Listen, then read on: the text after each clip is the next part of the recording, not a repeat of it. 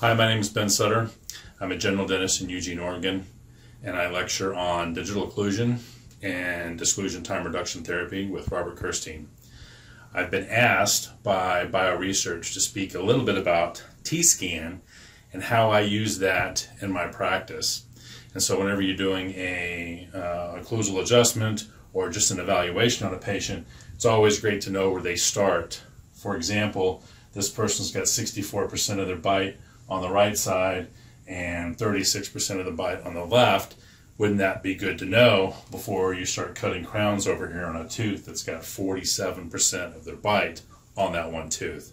So, how do I use this? Basically, I use this for every new patient that comes into the office to evaluate their occlusion before we do any kind of restorative or perio uh, uh, therapies. Use it to check all of my implants to make sure that they are not overloaded. Use it in all of my cosmetics, all of my crown and bridge. I used to not use it for single crown placements, but guess what? One thing that I noticed was patients are not that accurate at telling you whether the, the bite is good or not.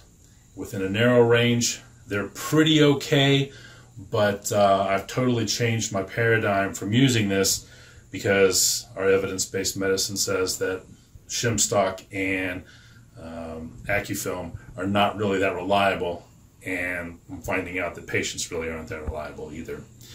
So another way to use this is uh, on finishing cases for cosmetics, full mouth rehabs, ortho cases, um, that rebound that so many orthodontists talk about as far as uh, the stretching of the periodontal ligament or orthodontic settling.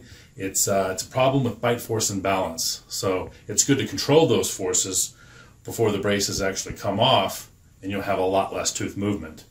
Um, my ROI on this has been pretty substantial. I've been a T-scan user since 2000 and I don't know 2008, 2009, uh, coming up on a decade for sure and I can't I can't practice without it.